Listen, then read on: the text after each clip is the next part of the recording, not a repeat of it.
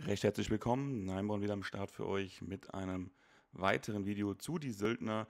Wir widmen uns heute wieder der Aufgabe, das Lichtschwert freizuschalten. Wir gehen ein zweites und auch letztes Mal in die Fabrik. Doch zuvor werden wir uns beim Duke eindecken mit Munition und mit Geld. Wir können natürlich nicht sehr viel damit anfangen, weil wir nach wie vor auf unsere Lemmy begrenzt sind aber nichtsdestotrotz werden wir uns mit zumindest einer Rohrbombe noch ausrüsten und ansonsten natürlich die Lemmy noch upgraden, so gut es geht. Rückblickend würde ich sagen, ist es auch besser, noch ein bisschen mehr vielleicht auf die Feuerkraft zu upgraden oder die Feuerkraft zu upgraden, anstatt die Feuerrate direkt auf 3 zu ballern, aber es funktioniert auch so. Und ansonsten haben wir natürlich noch die Magnum, die Wolfsbane am Start, die wird auch sehr, sehr wichtig sein im weiteren Spielverlauf, vor allem hier in diesem ersten Abschnitt. Und ich würde sagen, wir gehen rein, knöpfen uns den ersten Gegner vor. So, den wecken wir erstmal auf und der wird auch nicht nochmal aufwachen. Das ist sehr schön. Den haben wir nämlich ins Jenseits geschickt, genauso wie auch den zweiten Gegner. Und jetzt kommen wir gleich schon zur ersten etwas haarigeren Stelle. Sagt man das so? Haarigeren Stelle? Etwas schwierigeren Stelle. Sagen wir es mal so. Da sind nämlich zwei Bogenschützen. Da müsst ihr auf jeden Fall aufpassen, dass die euch nicht treffen. Denn wenn dem so ist, dann seid ihr direkt komplett rot und müsst euch heilen. Deswegen sage ich auch immer wieder, auf den Stufe 2 Leveln würde ich die Heiltränke auch nicht verkaufen. Hebt die euch immer für Notfall auf. Die habe ich persönlich auch das ein oder andere Mal gebraucht. Und wenn ich sie nicht hatte, dann haben sie mir gefehlt. So, den gepanzerten hier auch ganz wichtig, am besten direkt mit der Wolfsbane ausschalten, denn sonst wird es gefährlich. Der hält nämlich einiges von den Lemmy-Pistolenkugeln aus. So, hier einmal blocken, an dem Kollegen vorbei.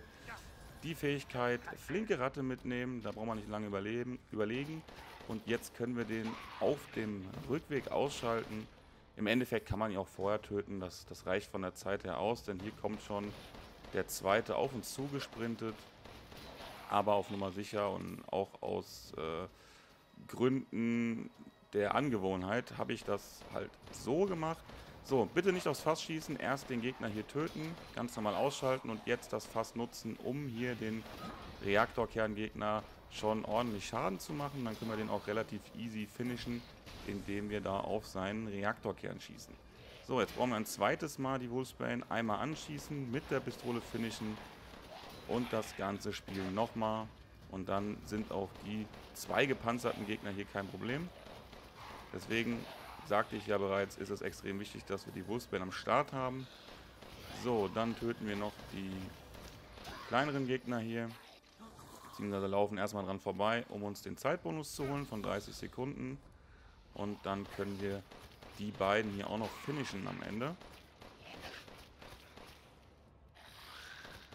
So, nehmen uns den Loot mit. Gehen einmal linke Hand noch zu dem Gegner hier, den wir auch ausschalten. Gönnen uns da den Loot und jetzt spawnen da, glaube ich, nochmal Gegner, wenn mich nicht alles täuscht. Okay, es hat mich doch getäuscht. nicht weiter schlimm. Wir gehen wieder in Richtung Gießerei. Töten die Gegner, die auf uns zukommen. Das ist jetzt hier alles eigentlich ohne größere Probleme.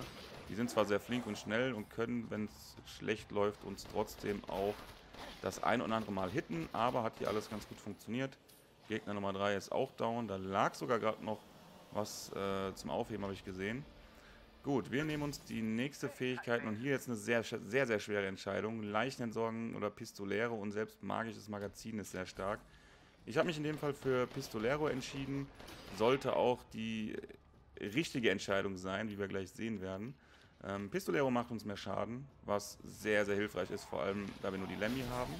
So, hier einfach mit der Mine direkt dem Reaktorkerngegner direkt ordentlich Schaden reindrücken, auf den zweiten eine Rohrbombe werfen und dann können wir die halt extrem einfach mit der Lemmy finishen. Das ist hier die Vorgehensweise, das ist auch so einer der Schlüssel hier in dem Level, damit wir nicht unsere Combo schon relativ früh verlieren. Ne? Also wie gesagt, Gegner Nummer 1 hier in dem Areal mit der Mine und den zweiten dann mit der Rohrbombe. Und dann könnt ihr die mit der Lemmy einfach finishen. Das sollte dann ohne Probleme funktionieren. So, und jetzt seht ihr schon, bekommen wir hier im Nachhinein doch noch unsere Leichenentsorgung. Von daher alles richtig gemacht. haben wir natürlich auch ja, gut Glück gehabt. Aber das gehört natürlich mit dazu, wenn es um die Fähigkeiten geht. Deswegen kann es das ein oder andere Mal auch passieren, dass ihr einfach auch keinen guten Run hinbekommt, weil die Fähigkeiten einfach Müll sind. Ja, ist mir auch passiert. Dann muss man einfach nochmal einen neuen Run starten und ein bisschen auf bessere Fähigkeiten hoffen. So, jetzt kommt gleich so eine Szene, wo ich auch nicht gerade ja, perfekt gespielt habe, äh, gespielt habe, wie ihr seht. Da werde ich direkt mies angehittet von der Vampirtochter. So, jetzt einmal aus Fass schießen, um da noch den Gegner zu töten und ihr direkt Schaden zu drücken. Und natürlich finishen wir sie am Ende mit der Wolfsbane. Jetzt gehen wir in den kleinen Raum, töten, nachdem wir die Fähigkeit Magisches Magazin erhalten haben, töten wir den Gegner hier so schnell wie möglich, rüsten die Wolfsbane wieder aus. Denn jetzt müssen wir vorsichtig sein. Wir sind jetzt hier ein bisschen gefangen in dem Raum. Deswegen töten wir auch den Reaktorkerngegner mit der Wolfsbane. Die zweite und die dritte Vampirtochter direkt hinterher. Das ist eine sehr, sehr unangenehme Stelle. Aber wie gesagt, wenn ihr da die äh, Wolfsbane zuvor ausgerüstet habt, dann werdet ihr auch diese etwas haarige Stelle meistern. So, wir nehmen uns die nächsten zwei Gegner zur Brust. Die sind da weniger ein Problem. Und dann kommen wir so langsam in den ja, letzten Raum, müsste das sein, wo auch nochmal zwei gepanzerte Gegner auf uns warten. Zwei Elite-Gegner, sag ich mal. Da kommt schon der erste. Dem legen wir schön eine Mine vor die Füße, lassen ihn reinlaufen und dann mit der Wolfsbane schön mittig auf den Reaktorkern, um ihn auszuschalten. Dann hier aufpassen, da kommen noch ein paar von den kleineren Gegnern. Nehmen uns den ganzen Loot mit. Und ich glaube, das war die Stelle, wo es jetzt gleich auch ein bisschen knapp wird mit der Zeit, beziehungsweise um die Combo zu halten. Da kommt nämlich der ähm, Sturm, nennt er sich. Ich nenne ihn liebevoll eigentlich Propeller Joe. Ja, der will uns auch nochmal das Leben schwer machen. Und jetzt müssen wir natürlich auch schauen, dass wir da nicht in, ja, in seinen Propeller, in seinen äh, Rotor reingeraten. So, da war nämlich auch die Stelle, wo es jetzt ein bisschen knapp wurde. Haben es aber gerade noch so geschafft, den 50. Gegner in Folge zu töten. Auch Nummer 51 ist kein Problem. So, wir bekommen jetzt hier nochmal die Hinrichtung. Und jetzt gilt es langsam auch, eine Etage nach oben zu wandern. Töten noch diesen Gegner, nehmen uns den Loot mit und sind jetzt auch in der finalen Schlussetage, kurz vorm Ziel. Müssen uns jetzt gleich natürlich nur noch mit dem Sturm hier beschäftigen, der hinter uns lauert. Und dementsprechend rüsten wir jetzt hier nochmal eine Mine aus. Blenden die Mine schön auf der Treppe. Da kann er nämlich nicht dran vorbei. Er wird auch diesen Weg zu 100% einschlagen. Töten diesen Gegner und auch den nächsten gleich noch.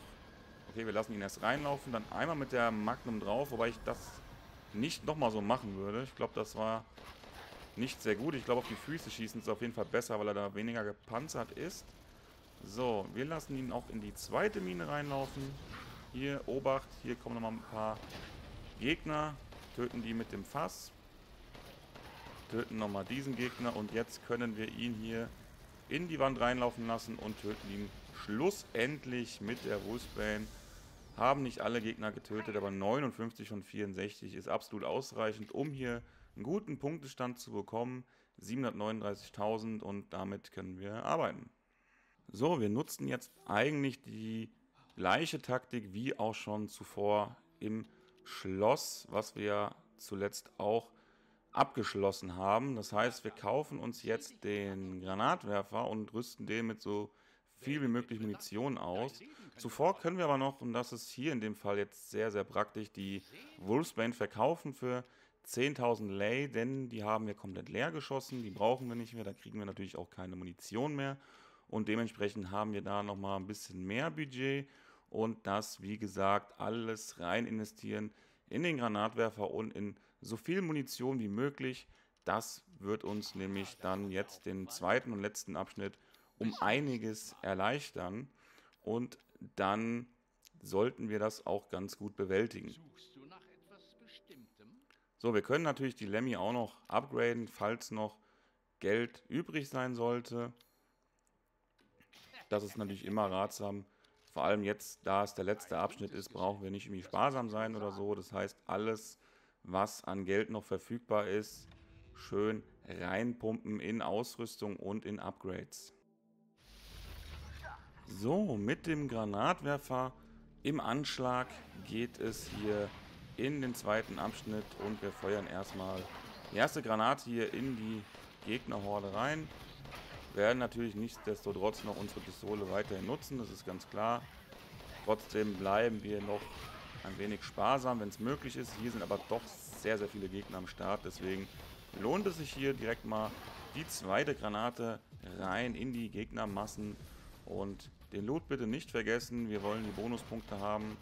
Ansonsten können wir jetzt hier ganz entspannt mit der Lemmy weiter die Gegner ausschalten. Die explodieren natürlich jetzt auch immer schön dank der Leichenentsorgung. Sehr, sehr zu empfehlen, das Perk. So, jetzt kommen wieder unsere Freunde, die Bogenschützen. Das heißt immer Links-Rechts-Kombination und am Ende mit einem Uppercut finishen. Ne, das ist leider nicht möglich, aber diese Links-Rechts-Kombination, die ist doch sehr empfehlenswert, wenn es hier um die Bogenschützen geht, um da von den Pfeilen nicht getroffen zu werden. Ihr seht, das funktioniert auch ganz gut. Trotz dessen, dass das so viele hier sind. Hier brauchen wir ein bisschen Geduld, das dauert ein bisschen, um die alle auszuschalten, aber für jeden getöteten Gegner bekommen wir ja wieder unseren Zeitbonus für die Combo. Von daher lasst euch da nicht stressen, alles easy going. So, auch hier Nummer 3, Bogenschützen, die können wir aber theoretisch mit dem Granatwerfer ausschalten, auch wenn das jetzt nicht ein wirklich glorreicher Versuch war und vor allem, was das sollte, das äh, weiß ich bis heute nicht genau. Aber gut, Fehler passieren. Raum für Fehler ist Gott sei Dank ein wenig und wir können ganz normal nach der Heilung weitermachen. So, die Gegner eignen sich halt perfekt dazu, um den ersten Schuss vom Granatwerfer zu setzen und dann wieder mit der Lemmy zu finishen. Das ist da eigentlich, würde ich sagen, die beste Vorgehensweise. Denn hier sind einige von denen am Start. Zack, Schuss Nummer 1 mit der Granate, dem Granatwerfer und dann mit der Pistole die letzten tödlichen Kugeln verpassen. So, jetzt können wir hier auf die Lichtgeschwindigkeit noch upgraden. Das heißt, von der flinken Ratte das Upgrade auf die Lichtgeschwindigkeit, dann sind wir nochmal deutlich schneller unterwegs. Sehr, sehr praktisch. So, da weiß ich auch nicht, was das für, ein, für eine Vorgehensweise war. Da zweimal mit der Granate drauf, dann war der trotzdem irgendwie noch nicht tot und dann nochmal schön den Hit gefressen. Aber wie gesagt, Fehler passieren, nicht weiter schlimm. Das heißt auch für euch, ihr müsst natürlich jetzt nicht das allerbeste, das perfekte Gameplay abliefern. Wir können uns natürlich den einen oder anderen Fehler erlauben und trotzdem unser Ziel, den SP-Rang oder in meinem Fall war es ja der SSP-Rang, zu erreichen. Also hier war ich glaube ein bisschen lost, wo es weitergeht. Wir haben die Combo auch schon verloren, wie ihr seht. Ich weiß jetzt auch gerade nicht mal genau, was wir für eine Combo am Start hatten. Aber das passt eigentlich ganz gut. Das ist ein gutes Beispiel dafür, um euch zu zeigen, es muss halt wirklich nicht immer der perfekte Run sein. Denn auch so werden wir hier auf unsere Punkte kommen. Wir starten einfach eine neue Combo, indem wir jetzt hier den ersten und auch den zweiten Gegner ausschalten. So, ihr seht, wie ich schon erwähnt hatte, es sind sehr, sehr viele von diesen Reaktorkerngegnern hier am Start. Deswegen extrem wichtig, dass wir, die, äh, dass wir den Granatwerfer haben. So, das hat, glaube ich, hier sogar ganz gut geklappt mit dem Gegner. Der kann auch ziemlich nervig sein, wenn man den nicht so schnell wie möglich finisht. So, hier auch am besten direkt eine Granate drauf, denn der wacht dann auf und macht uns sonst noch weiter Probleme mit der Pistole finishen. Es ist immer das Gleiche, ne? Immer schön mit der Granate einmal drauf und dann mit der Pistole den Gegner den Rest geben. So, jetzt müssen wir uns hier noch ein bisschen zurechtfinden. Wir laufen jetzt quasi den umgekehrten Weg wie im ersten Abschnitt. Aber da ich generell ein Mensch mit Orientierungsproblemen bin, äh, fällt mir das trotzdem nicht allzu leicht, wie man vielleicht sieht. Aber wir werden uns da schon durchkämpfen. So, da kommt wieder einer von den kleineren Gegnern. Die sind eigentlich kein Problem. Einfach mit der Pistole schön draufhalten. Und dann ist das alles easy going. Wir nehmen uns nochmal eine Fähigkeit mit. Brauchen aber jetzt nicht unbedingt noch weitere Fähigkeiten. Wir sind sehr, sehr gut ausgestattet mit den Perks. Da kann eigentlich nicht mehr viel schief gehen. So. Der nächste Gegner ist down. Ihr seht, hier kommen jetzt einige, die uns das Leben schwer machen wollen, aber wir sind einfach gut vorbereitet und dann ist das alles easy. So, Heildrang und jetzt hier auch nochmal schön mit der Granate rein, wo wir gerade seinen Rücken gesehen haben, denn bei dem Reaktorkern Gegner ist der, ist der Kern auf dem Rücken hinten. Da ist es dann immer ein bisschen tricky, aber wir hauen unsere letzte oder vorletzte Granate da rauf auf den Gegner. Jetzt kommen wir auch schon so langsam ins Endstadium. Jetzt wird es aber gleich nochmal kritisch, weil wir die Munition ausgeht, wie ihr seht. Ja, wir nutzen jetzt hier das Fass, um die Bogenschützen zu töten. Die kommen uns leider zuvor mit ihrem, ja, mit ihrem Pfeilschuss. Aber es war sogar ganz gut, da wir jetzt durch das Fass auch noch den Reaktorkerngegner hier ordentlich Schaden machen konnten. So, und hier ist es jetzt wieder ein bisschen weird, wie ich es auch schon im, in der Stufe 1, also im ersten Fabriklevel quasi erwähnt hatte. Das spawnen jetzt immer abwechselnd auf der rechten und linken Seite oder auf dem rechten und linken Raum ähm, spawnen jetzt immer diese äh, Reaktorkerngegner. So, ganz, ganz schwierige Phase hier, weil ich keine Munition mehr habe. Das heißt, ich bin jetzt hier schon auf dem Weg ins Ziel. Ich sehe jetzt hier nicht mehr viele Möglichkeiten, noch Gegner zu töten oder überhaupt noch irgendwas imstande zu, zu tun. Ja, das heißt, es ist halt mit Abstand so, glaube ich, die schlechteste äh, Runde, die ich hier gespielt habe in all den Videos, die ich bisher hochgeladen habe. Das lief wirklich im Endgame hier nicht sonderlich gut. Nichtsdestotrotz versuchen wir so viel wie möglich Gegner zu töten, auch wenn jetzt die Combo Overall nicht wirklich gut war. Das heißt, wir befinden uns jetzt hier im letzten Raum, töten noch die letzten Geg entflamm entflammten Gegner, die erleuchteten Gegner könnte man sagen. So, und dann sind wir eigentlich auch schon langsam durch mit der Chose hier. Aber ich finde es eigentlich auch mal ganz gut, dass es äh, ja mal eine andere Art von, von Beispiel. Es geht auch so, man bekommt auch so genügend Punkte, um einen guten Rang zu bekommen. In dem Fall 970.000 Punkte und damit, ja, der SSP-Rang und trotz der vielen Fehler am Ende hat es gereicht, um hier den höchsten Rang zu erreichen. Ich hoffe wie immer, ich konnte euch weiterhelfen. Würde mich über ein Like und Kommentar freuen. Bis zum nächsten Mal. Nineborn, Ende.